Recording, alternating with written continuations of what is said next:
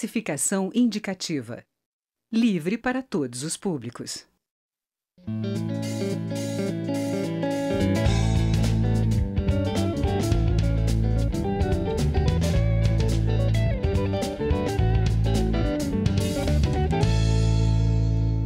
Olá. A Comissão de Seguridade Social e Família é, é a terceira maior da Câmara. Esse grupo de deputados é responsável por discutir e analisar projetos de lei que mudam o dia a dia da população, como os que tratam de saúde pública, previdência e assistência social. A deputada Conceição Sampaio, do PP do Amazonas, vai terminar daqui a pouco seu mandato à frente da comissão e faz um balanço do trabalho aqui no Palavra Aberta. Eu sou Daniela André e este é um programa da Rádio Câmara e da TV Câmara.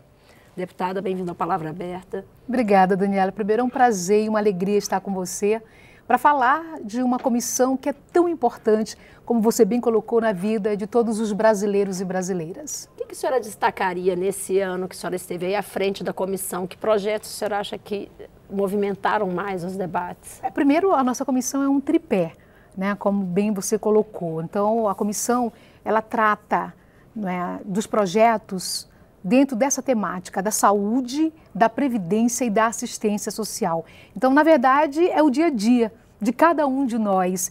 É, eu quero destacar, antes mesmo de destacar os projetos, destacar o comprometimento do colegiado que forma a Comissão de Seguridade Social. Então, deputados e deputadas, certamente é, pessoas envolvidas nessa temática e que procuraram, mesmo num ano tão atípico que foi o ano de 2016, mas dar o seu melhor além dos nossos membros da comissão, dos parlamentares, a própria comissão, não é? A, a pró os próprios servidores aqui da Câmara dos Deputados que compõem, portanto, a Seguridade, a comissão. Então, eu quero muito primeiro agradecer a cada um deles, eu tenho certeza do papel importante que acabaram desenvolvendo. Agora, nós tivemos muitos projetos importantes e muitos debates importantes também. E um desses projetos é justamente a possibilidade da gente tirar das escolas, das crianças de até 10 anos, a venda dos refrigerantes. E nós conseguimos, era um projeto que estava já engavetado há quase 15 anos, aqui na Câmara, infelizmente, e na nossa comissão, e a gente teve a possibilidade de trazê-lo, não é? Colocamos e convidamos a deputada Zenaide, que é do Rio Grande do Norte, para ser a relatora, e aprovamos é, esse projeto muito importante. E conversamos, porque a comissão também, além dos projetos em pauta, nós abrimos uma possibilidade de dialogar com a, com a sociedade civil organizada. Então, todas as quintas-feiras, nós fazíamos o atendimento, eu, enquanto presidente, que ainda estou desta comissão, comecei a dialogar com a sociedade. Então, a sociedade participou também diretamente, inclusive, da própria escolha daquilo que poderia ir para a pauta. Isso é uma forma importante, democrática, principalmente lembrando qual é o nosso papel aqui. Nós somos uma casa representativa. Então, quando a gente começa a conversar, a, dialogar com as pessoas, né, pessoas que hoje ocupam o mandato eletivo, mas as pessoas que por nós aqui são representadas, a gente acabou é, tendo a facilidade de construir. Acho que essa construção também foi fundamental. Mas além do, do, desse projeto, que a gente acabou é, conseguindo a sua aprovação, nós, uma, uma decisão que nós tomamos foi fazer com que todos os projetos oriundos de CPIs fossem à pauta. Enfrentamos no voto todas essas discussões. Porque se uma comissão parlamentar de inquérito ela é formada, ali tem gastos públicos. E se ela foi formada é porque tem um fato determinante. Então a sociedade ela quer as respostas imediatas, tanto aquilo que nós encaminhamos, mas aquilo que nós podemos produzir. E a produção de toda a CPI acaba sendo um projeto de lei ou requerimentos, mas nesse caso projetos. Então nós tivemos a possibilidade de trazer à pauta também é, projetos que foram oriundos daquela CPI que todo mundo falou, de órtese e prótese, foi um problema sério no país. A gente conseguiu trazer dois projetos dessa CPI que estavam prontos e estavam lá para ir para serem pautados e conseguimos inclusive também da, da própria comissão que tratou da violência é, contra mulheres, a violência de crianças e adolescentes. Então, nós tivemos a chance de trazer para a pauta esse tipo de, de, resultado. Então, foi muito importante isso. Deputada, a senhora falou aí de projetos que já, vem, já vieram de outras comissões, de diálogo, de construção. A senhora é, teve oportunidade, a senhora viu isso na comissão, esses temas mobilizaram, independente de partidos, conseguiu-se ter um debate aí suprapartidário ah, nesses demais. temas? Eu acho que uma coisa que eu pedi muito a Deus, esse discernimento, porque quando você preside uma comissão, você precisa fazer um papel de, de magistrado, né? Você não pode ter lado, você é a comissão, você representa o colegiado e é muito importante quando você diverge, não é? Mas quando você respeita quem pensa diferente de você penso e, e, tenho a convicção de que a Comissão de Seguridade Social e Família conseguiu encarar e enfrentar vários debates de uma forma muito democrática, respeitosa e conseguimos construir também é muita coisa a partir dessas discussões. As nossas audiências públicas, que foram muitas, e a audiência pública, ela é um instrumento importante dentro de uma casa de leis, porque ela dialoga diretamente com a sociedade civil organizada. Então, eu, eu, eu vejo que a gente, nós, nós, na verdade, tivemos muitos embates que são importantes e necessários. Aqui é uma casa plural, mas certamente acabamos convergindo para um resultado final que foi é, a aprovação de vários projetos de leis que são projetos que mudam para melhor a vida das pessoas. Deputada, é, a senhora falou da CPI de hortas e próteses. O que, que mudou? O que, que a CPI sugeriu e que já foi acatado pela Comissão de Seguridade? É, na verdade, um, um, dos projetos era essa, essa fiscalização, porque o que se denunciou no país é que muitas pessoas é, acabavam sendo lesadas né? É, e, e quando você tira do cidadão e da cidadã o crédito nas nossas instituições, isso é terrível.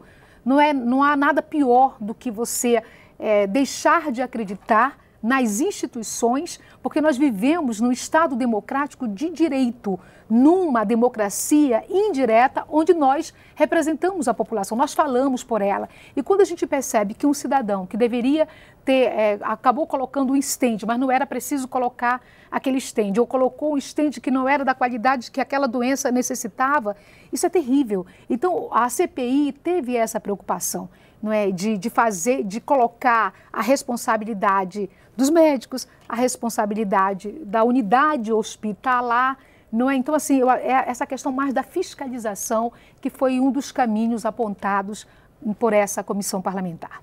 Deputada, a gente está em março, mês da mulher, e as mulheres ainda são bastante, são muito pouco representadas aqui na Câmara, que foi esse desafio para a senhora, uma deputada em primeiro mandato numa casa com 90% de homens, é enfrentar a presidência de uma comissão tão grande? Primeiro, eu quero muito aqui agradecer. Né? A Comissão de Seguridade Social, eu sou a quarta mulher a ocupar a presidência. Então, me sinto extremamente honrada, primeiro pelo, pela forma que o meu partido é, me enxergou, o Partido Progressista.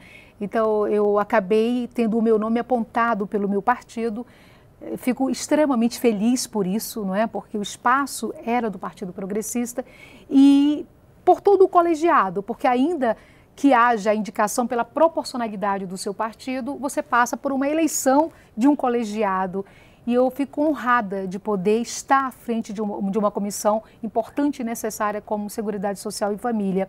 Acho que nós, mulheres, é, com a nossa forma, a nossa gestão, a gente vai tendo a possibilidade de, de mostrar também que estamos preparadas, preparadas para o comando, não é? E a gente não comanda nada só, né? Eu tenho certeza que só consegui chegar até esse momento porque tive parlamentares, não é? E as nossas parlamentares, então homens e mulheres que foram companheiros e companheiras, foram pessoas dedicadas.